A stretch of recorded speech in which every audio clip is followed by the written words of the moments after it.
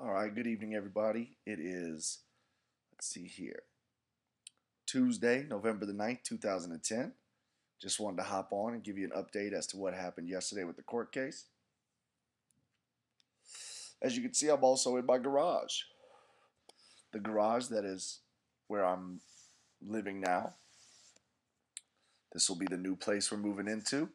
And as you can see, you know, we got like the TV and stuff in here, so on and so forth, setting up a little cave in the garage. But what we wanted to talk about was everybody knows Monday morning we had an eviction hearing.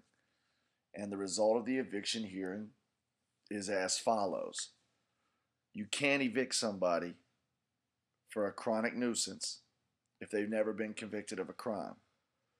And for that reason, as long as Friday, since our lease was up. Technically, they were evicting us. They started the process in October, but our lease ended at the end of October. So the fact that it carried over into November, well, that's just our homeowner's fault. He was just an idiot for even trying to evict us. And because he tried to evict us, those eight or nine days in November where we were, you know, so far that we've been in the home, well, it's their fault that we were staying there without having to pay the rent and so on because, well, they didn't do their due diligence and to make a long story short, they wasted the court's time, just like we said they were. And Friday, when we go back into the courtroom and we tell the judge, Your Honor, we're out of the house, they're going to say, Case dismissed. And what's going to happen after that is then I am going to immediately turn around and within the next couple weeks, we will be suing the landowner, the homeowner, and the property management company that's one suit that we'll be doing for the, the duress, the defamation, the, the libel, the slander, um, you know, the violation of our rights, so on and so forth. Uh, the Federal Fair Housing Act of, I believe it's 1968, a bunch of other stuff. And that, that's what we'll be doing next. We'll be suing the landlord, except this time, instead of it being an eviction court where everything happens in like literally 10 minutes, it's going to be a little different for them.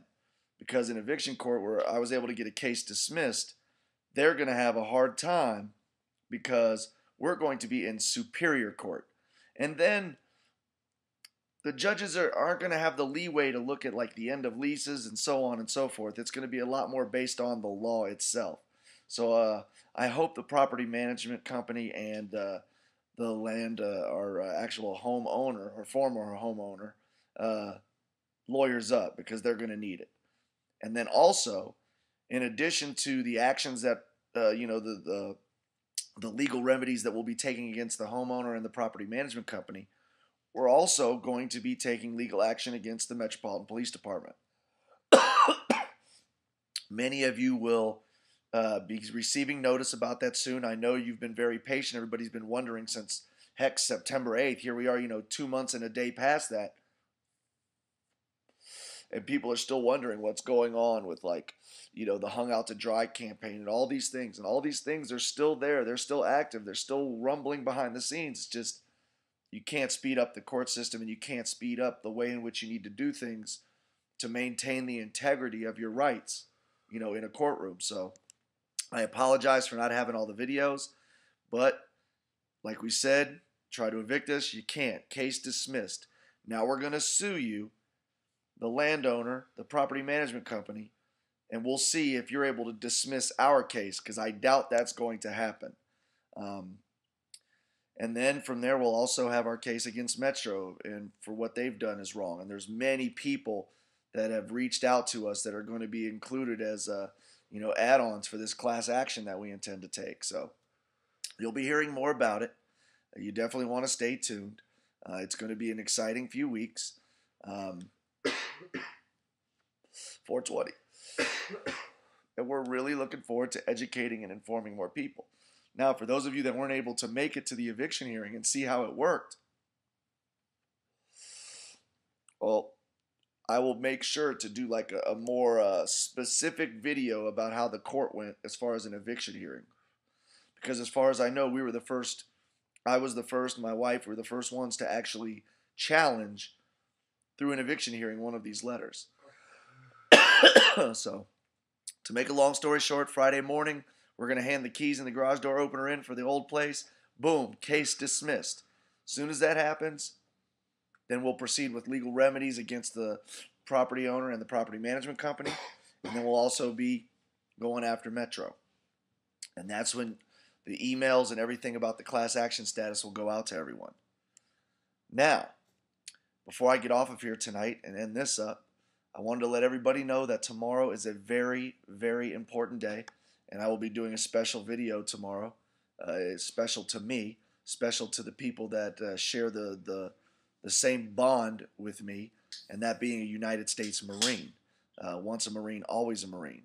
So uh, make sure if you know anybody that has served in the Marine Corps, uh, retired Marine, um, unfortunately deceased Marine, wherever it is, you want to make sure that you let them know that they have a happy birthday tomorrow.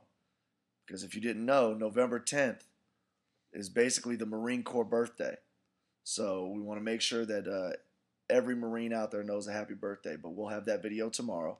And uh, also, we got Veterans Day coming up. So they go hand in hand Marine Corps birthday, Veterans Day. Boom, boom. But uh, we'll have a video tomorrow, a little special video for the Marine Corps birthday.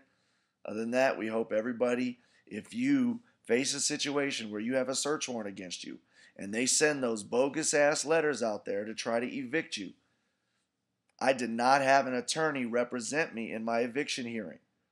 I was able to represent myself and just read the actual law back to the judge. It was that easy.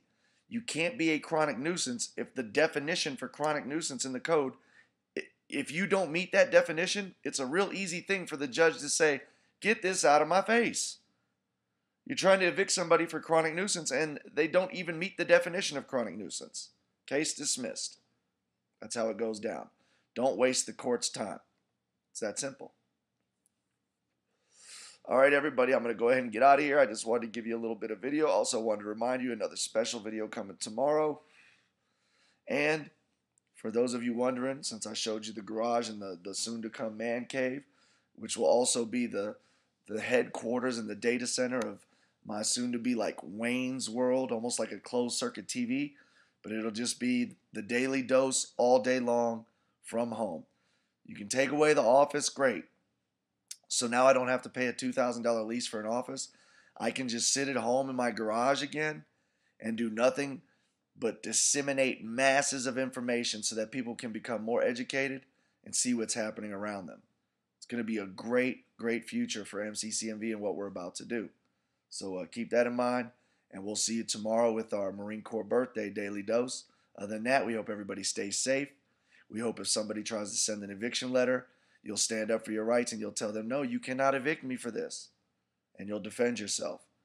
All right, everybody. Quick little video. We're going to wrap it up and we will see you tomorrow.